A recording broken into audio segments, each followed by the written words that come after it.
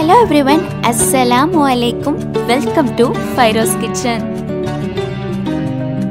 இன்னைக்கு நம்ம சேனல்ல புனிதமான ரம்லான் மாதத்துல செய்யக்கூடிய நோன்பு கஞ்சி எப்படி பண்றதுன்னு தான் பார்க்க போறோம்.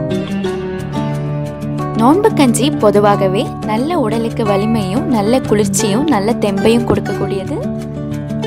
இந்த நோன்பு கஞ்சி பார்த்தீங்கன்னா எல்லா ஊர்கள்லையும் கிட்டத்தட்ட ஒரே மாதிரி தான் பண்ணுவாங்க. ஆனால் சின்ன சின்ன டிஃப்ரென்ஸ் இருக்கும். இன்னைக்கு நம்ம சேனலில் பார்க்க போகிறது துபாய் ஸ்டைலில் செய்யக்கூடிய நோன்பு கஞ்சி தான். என்னுடைய நண்பர் என்கிட்ட பகிர்ந்துக்கிட்ட வீடியோவை நான் உங்களுக்கு செஞ்சு காட்ட போகிறேன் வீடியோ பார்க்குறக்கு முன்னாடி மறக்காமல் சப்ஸ்கிரைப் பட்டனும் கூட இருக்கிற பெல் ஐக்கானும் கிளிக் பண்ணிக்கோங்க. அப்போ தான் நான் போடக்கூடிய அடுத்தடுத்த வீடியோஸ் அண்ட் நோட்டிஃபிகேஷன்ஸ் கிளியராக கிடைக்கும்.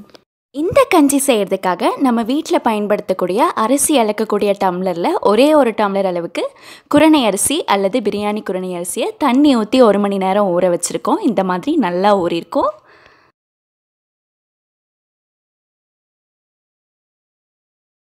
அடுத்த பொருள் என்னென்னா அரை கப் அளவுக்கு பாசிப்பருப்பை அதோட வாசனை வர வரைக்கும் லேசாக ட்ரையாக கடாயில் வறுத்துட்டு அதை ஒரு மணி நேரம் தண்ணி ஊற்றி ஊற வச்சிடலாம் கடைசியாக ஒரே ஒரு டேபிள் ஸ்பூன் அளவுக்கு வெந்தயத்தை தண்ணி ஊற்றி ஒரு மணி நேரம் அதே மாதிரி ஊற வச்சுக்கலாம். அடுத்ததாக ஒரு மிக்சி ஜாரில் ஒரு பதினஞ்சுலேருந்து இருபது சின்ன வெங்காயத்தை இந்த மாதிரி சேர்த்துக்கலாம். இது கூட ஒரு மூடி தேங்காயை ரஃப்பாக கட் பண்ணி அல்லது வந்து துருவி போட்டுக்கலாம்.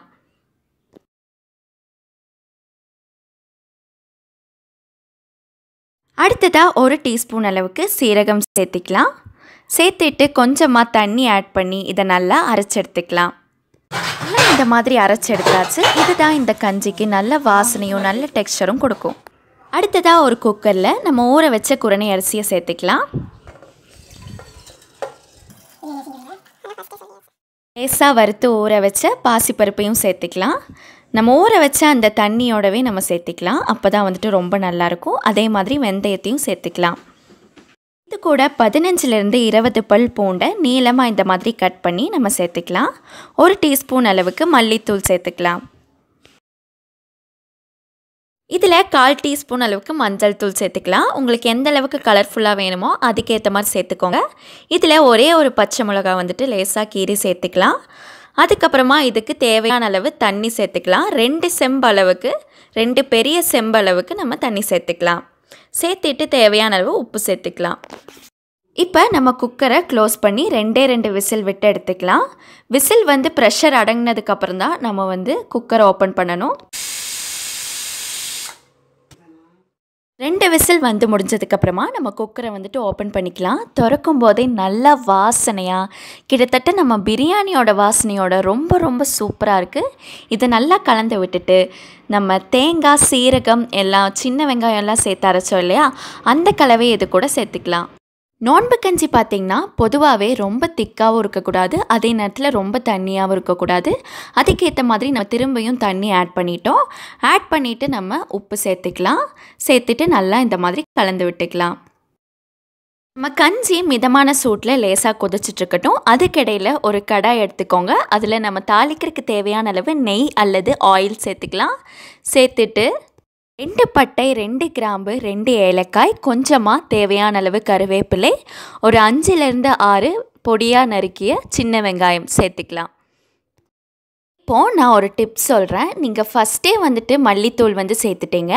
அந்த மல்லித்தூளை அங்கே சேர்க்குறதுக்கு பதிலாக இந்த தாளிப்பில் கூட நம்ம சேர்த்துக்கலாம். இது உங்கள் விருப்பம்தான். நல்லா பொன்னிற ஆகிற வரைக்கும் இதை வந்துட்டு நம்ம வறுத்துக்கலாம். இப்போ இந்த தாளிப்பை லேசாக கொதிச்சிட்டு இருக்கக்கூடிய கஞ்சியில் வந்து சேர்த்துக்கலாம்.